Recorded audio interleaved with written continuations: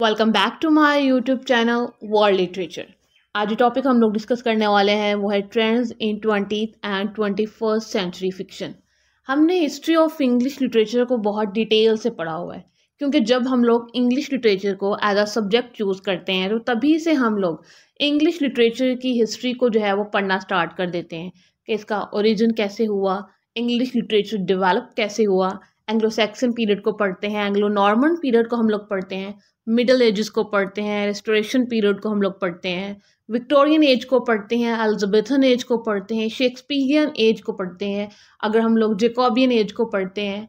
उसके बाद हम लोग मॉडर्निज्म पोस्ट मॉडर्निज्म हमने बहुत सारी एजेस को पढ़ा है और उन सारी एजेस में लिटरेचर जो है वो कंटिन्यूसली डिवेल्प हुआ है। मीन्स कि अगर कहीं ट्रेडिशनल चीज़ों को फॉलो किया जाता था। फिर जैसे जैसे टाइम गुजरता गया राइटर्स ने नई चीज़ों के साथ इंगेज होना स्टार्ट किया। और जैसे ही इंगेज हुए, उन्होंने नई ऑब्जर्वेशंस की। राइटर्स ने नए टॉपिक्स को डिस्कस किया और उन टॉपिक्स को डिस्कस करके हमारे सामने रखा कि सोसाइटी किस तरह से चेंज हो रही है। सोसाइटी में क्या डेवलपमेंट आ रही है। अब ट्वेंटी सेंचुरी में क्या हो रहा था, अब हम पहले वो डिस्कस कर लेते हैं। ट्वेंटी और ट्वेंटी फ़र्स्ट सेंचुरी में बहुत ज़्यादा सिग्निफिकेंट चेंजेस आए थे सोसाइटी में। चेंजेस आ रहे थे कल्चर के हवाले से सोशल जो नॉर्म्स थी, वो चेंज हो रही थी। पॉलिटिकल अगर हम लोग वहाँ उस टाइम का स्नैरियो देखें तो वो भी टोटली चेंज हो रहा था। अगर पॉलिटिक्स हिस्ट्री के अंदर डिफरेंट थी तो अब जैसे जैसे मॉडर्निज्म और साथ ही साथ पोस्ट मॉडर्निज्म आ रहा था, यहाँ पे हमारी ट्वेंटी फ़र्स्ट सेंचुरी आ रही थी। पॉलिटिकल नैरेटिव भी जो है ना, वो चेंज होना स्टार्ट हो गए थे। जो टैक्टिक्स थे पॉलिटिशियंस के, वो भी चेंज हो रहे थे। इन सब चीज़ों को जो हमारी सोसाइटी के सबसे ज़्यादा जो हम्बल लोग होते हैं, वो राइटर्स होते हैं। वो इन सब चीज़ों को जब ऑब्ज़र्व करते हैं तो देन ही वो एक मास्टर हमारे सामने रखते हैं। अब ट्वेंटी सेंचुरी में क्या लिटरेचर में डेवलपमेंट हो रही थी? फिक्शन में क्या डेवलपमेंट हो रही थी? हम सबसे पहले उसको डिस्कस करते हैं। ट्वेंटी सेंचुरी के अंदर सबसे पहले तो मॉडर्निज्म का टाइम पीरियड आ जाता है, जो कि अर्ली ट्वेंटी सेंचुरी का था। इसके अंदर बहुत सारे राइटर्स आए जिसमें वर्जीनिया वोल्फ हैं जेम्स जॉयस हैं एंड टी एस इलियट अब ये जब लोग आए थे मॉडर्निज्म में तो इन्होंने जो ट्रेडिशनल चीज़ें थी, उन सबको अनफॉलो किया। जो ट्रेडिशनल वेज थे स्टोरी टेलिंग के, जो ट्रेडिशनल वेज थे प्ले लिखने के नावल लिखने के स्टोरी लिखने के, उन सब चीज़ों को इन्होंने रिजेक्ट करके मॉडर्निज्म की तरफ़ आए। और इन्होंने स्ट्रीम ऑफ़ कॉन्शियसनेस को इंट्रोड्यूस करवाया अपने नॉवेल्स में, अपनी स्टोरीज में, अपने लिटरेचर में। इन्होंने इनर थॉट्स पे फोकस दिया कि एक जो पर्सन है, एक इंडिविजुअल है, एक ह्यूमन बीइंग है, उसके माइंड में क्या चल रहा होता है, इन्होंने उसको लिखना स्टार्ट किया। उसके बाद इन्होंने जो कोई भी एक सोशल मैन है या फिर एक ह्यूमन बीइंग है नॉर्मल उसका खुद का एक्सपीरियंस क्या है? वो वर्ल्ड को कैसे देखता है? उसकी आइडियोलॉजी क्या है? इन्होंने उसको ऑब्ज़र्व किया और इन्होंने उसको लिखना स्टार्ट किया। रदर देन इन्होंने रिलीजन को डिस्कस किया या फिर जो ट्रेडिशनल हमारे थीम्स होते थे, उस चीज़ को डिस्कस करने के बजाय इन्होंने प्रेजेंट टाइम पे फोकस किया कि अब जो है वो वर्ल्ड डेवलप हो रही है।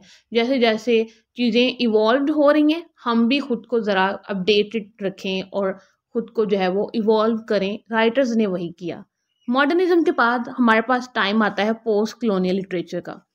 पोस्ट कलोनियल लिटरेचर एक ऐसा इंपॉर्टेंट टॉपिक है लिटरेचर के अंदर जो हमें, हमारे सामने वर्ल्ड का वो व्यू सामने रखता है जो हमें नहीं पता है।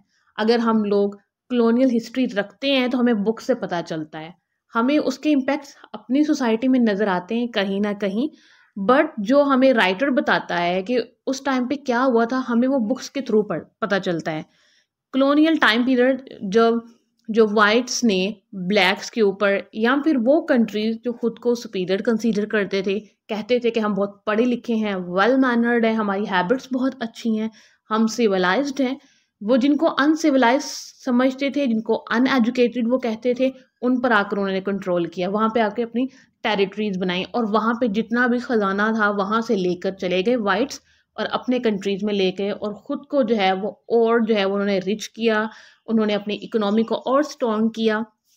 ये था कलोनलिज्म पोस्ट कलोनलिज्म के अंदर जो कलोनलिज्म में हुआ था, हम उस चीज़ को डिस्कस करते हैं।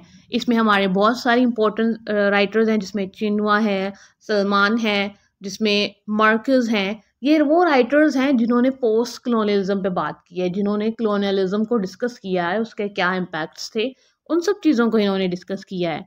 इन्होंने आइडेंटिटी जो क्राइसिस होते हैं कलोनलिज्म के बाद कि आप जो है, ना वो, ना तो वाइट बन पाते हो, ना ब्लैक बन पाते हो, आपकी एक मिक्स्ड आइडेंटिटी बन जाती है क्लोनलिज्म के बाद।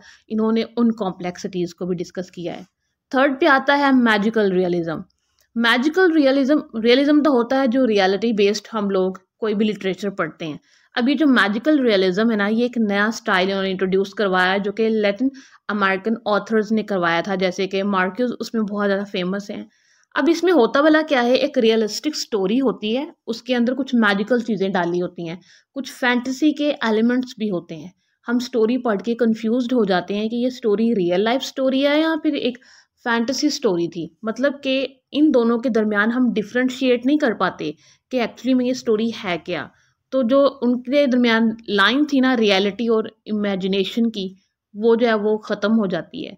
ये जो लाइन थी वो मिक्सअप हो जाती है और इसको मैजिकल रियलिज्म कहा जाता है कि ना तो वो रियलिटी बेस्ड होता है, ना ही वो फैंटेसी बेस्ड होता है। इन दोनों का एक कॉम्बिनेशन होता है। इसको जो है वो मैजिकल रियलिज्म लिटरेचर के अंदर कहते हैं। ट्वेंटी सेंचुरी में ये भी हो रहा था उस टाइम पे। उसके बाद जो है वो एग्जिस्टेंशियलिज्म एंड अब्जर्डिज्म ये जो है ना बहुत ही इम्पोर्टेंट था, क्योंकि ट्वेंटी सेंचुरी में वर्ल्ड वॉर्स भी हुई वर्ल्ड वॉर फ़र्स्ट हुई वर्ल्ड वॉर सेकंड हुई। यहाँ पर बहुत सारी वॉर्स हुई। हर कंट्री की अलग अलग अपनी वॉर्स चल रही थी। हम कोल्ड वॉर देखते हैं, हम स्पेनिश सिविल वॉर देखते हैं। हम जो कि बहुत सारी ऐसी वॉर्स हैं जिसने लोगों की जो आइडेंटिटी है उसको अफेक्ट किया। साथ ही साथ लोगों के अंदर जो एक लाइफ का मीनिंग था उसको ख़त्म कर दिया था इन सब चीज़ों ने। जैसे जैसे टेक्नोलॉजी इवॉल्व हो रही है रिलेशनशिप्स एक दूसरे से बहुत ज़्यादा दूर हो गए हैं। लोगों के अंदर ह्यूमैनिटी जो है वो ख़त्म होती जा रही है। इस वजह से लोगों के अंदर जो खुद का पर्सनालिटी को लेकर एक क्वेश्चन है ना कि मैं हूँ कौन? मेरी लाइफ का मीनिंग क्या है? मेरा पर्पस क्या है? ये चीज़ बहुत ज़्यादा हो रही थी उस टाइम पे। तो इनको इनको भी इन्होंने डिस्कस किया हमारे इंग्लिश लिटरेचर के राइटर्स ने, जिसमें एल्बर्ट कैम्यू हैं सार्टर हैं, इन्होंने एग्जिस्टेंशियलिस्ट और अब्जर्डिस्ट थीम को चैलेंज किया। लाइफ का जो मीनिंग है, उसको एक्सप्लोर करने की इन्होंने कोशिश की। एक इंडिविजुअल की जो फ्रीडम है, इन्होंने उस टॉपिक को डिस्कस किया।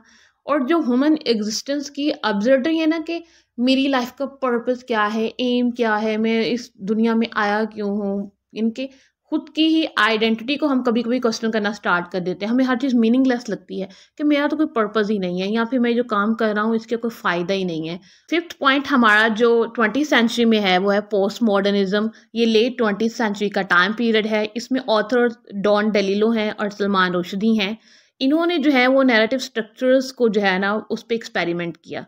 मतलब कि इंटरटेक्सचुअलिटी की इन्होंने बात की है कि जो टेक्स्ट आपस में मिल जाते हैं, उनका क्या रिज़ल्ट निकलता है, उसको इन्होंने डिस्कस किया। उसके बाद सेल्फ रिफ्लेक्सिविटी पे इन्होंने बात की कि जो सेल्फ आर्टिफिशलिटी होती है, किसी भी पर्सन की, किसी भी ह्यूमन बीइंग की, कि वो कितना आर्टिफिशियल है अंदर से, उसका इनर कितना जो है वो आर्टिफिशियल है, उस चीज़ को इन्होंने डिस्कस किया। और जो ट्रेडिशनल स्टोरी टेलिंग कन्वेंशंस थी ना, इन्होंने उसको भी चैलेंज किया और क्योंकि मॉडर्निज्म होता ही वो है जो कि ट्रेडिशनल चीज़ों को चैलेंज करे, जो हमारी जो ट्रेडिशनल वेज थी वैल्यूज़ थी, या फिर जो राइटिंग स्टाइल था लिटरेचर था, उन सब चीज़ों को ये चैलेंज करते हुए जो मॉडर्निज्म के राइटर्स थे। उसके बाद आता है हमारी ट्वेंटी फ़र्स्ट सेंचुरी जिसके अंदर ग्लोबल एंड ट्रांसनेशनल लिटरेचर जो है वो आता है। अब जब वर्ल्ड एक दूसरे के साथ बहुत ज़्यादा कनेक्टेड हो चुकी थी मतलब कि जैसे अब हमारी टेक्नोलॉजी है, कितनी ज़्यादा वो फास्ट है। एक मिनट में हम अपने इंटरनेट के थ्रू जो एक न्यूज़ होती है, वो कहीं भी पहुँचा सकते हैं इंडिया पाकिस्तान इंग्लैंड कहीं भी हम लोग देख सकते हैं वो बैठ के। तो मीन्स कि हमारी जो पूरी वर्ल्ड है, वो एक ग्लोबल विलेज बन चुकी है। इसकी वजह से बहुत सारे जो राइटर्स थे, उन्होंने उन चीज़ों को डिस्कस किया जो हमारे बॉर्डर के अक्रॉस भी हो रही थी। जैसे अगर पाकिस्तान एंड इंडिया के जो कॉमन इश्यूज़ हैं अगर एक राइटर वो लिख रहा है तो उसको पता है कि जो मेरे बॉर्डर के उस साइड पर लोग हैं, उसके भी कुछ ऐसे ही इश्यूज़ हैं। मीन्स के ऐसी राइटिंग जो हमारे बॉर्डर के अक्रॉस जाए, हम लोग, हमारी जो नेशनल बाउंड्रीज हैं, उनसे अक्रॉस जाए, हमें पता हो कि हमारे नेबर कंट्री उनकी क्या प्रॉब्लम्स हैं। इसमें नगोजी हारूकी ये कुछ इंपॉर्टेंट राइटर्स हैं, जो कि ग्लोबल एंड ट्रांसनेशनल लिटरेचर पे काम कर रहे थे ट्वेंटी फ़र्स्ट सेंचुरी में। सेकेंड ट्वेंटी फ़र्स्ट सेंचुरी में जो लिटरेचर डेवलप हो रहा था, वो डेस्टोपियन था एंड स्पेकुलेटिव फिक्शन था। डिस्टोपियन वो होता है जो कि एक इमेजिनरी किसी भी चीज़ को हम लोग ले रहे हैं। एक इमेजिनरी सोसाइटी हम लोग अपने माइंड में इमेजिन कर लें, जो कि बहुत बुरी सोसाइटी हो, जिसके अंदर बहुत ज़्यादा जुल्म हुआ हो अनफेयर सोसाइटी हो, लेकिन वो एक इमेजिनेशन में हो हमारी, कि मे बी फ्यूचर में ऐसी डेस्कटॉपियन जो सोसाइटी है, वो बन जाए कहीं ना कहीं। इस लिटरेचर को डिस्कस कर, किया जा रहा था। उसके बाद स्पेकुलेटिव जो लिटरेचर है ना, उसको भी डिस्कस किया जा रहा था, जो कि सपोज़ होता था और अनसेफ होता था रिस्की टाइप की जो कुछ लिटरेचर होता था उसको। इनके जो उसमें रियलिटी नहीं होती थी श्योर श्योरिटी नहीं होती थी, हम ये भी कह सकते हैं इसमें। इसमें जो ऑथर्स थे, उस टाइम पे एटवुड है दी हैंडमेड स्टेल इनका जो वर्क था, उसके बाद इशी गुरु है नेवर लेट मी गो इनका ये वर्क था। इन्होंने डेस्टोपियन जो फ्यूचर्स हैं, उसकी प्रिडिक्शन की, उसको एक्सप्लोर किया कि मे बी सोसाइटी जो है वो उस तरफ़ चली जाए अनफेयर जो चीज़ें होती हैं, किसी भी सोसाइटी में वो होना लग जाए और एक डेस्टोपियन जो सोसाइटी है वो क्रिएट हो जाए। और साथ ही साथ स्पेकुलेटिव जो सिनेरियोज हैं, जिसमें जो कि सपोज़ सपोज़ करके कोई भी स्टोरी टेलिंग कर दी जाए, या फिर बहुत ही कोई रिस्की चीज़ हो जिस पे हम लोग बिलीव ना कर पा रहे हो कि ये एक्चुअली में हमारी सोसाइटी में ऐसा होता है कि नहीं। इस तरह के जो सोसाइटल इश्यूज़ थे ना, वो इसके अंदर डेस्टोपियन और स्पेकुलेटिव जो फिक्शन था राइटर्स काम कर रहे थे। आइडेंटिटी एंड रिप्रेजेंटेशन इसके अंदर जो है वो डाइवर्स वॉइस पे फोकस किया जाता है। जैसे कि हमारे कॉमन इश्यूज़ क्या है? Race gender and cultural identity ये तीनों हमारे पर्सनल चीज़ें होती हैं। हमारी कल्चरल आइडेंटिटी क्या है?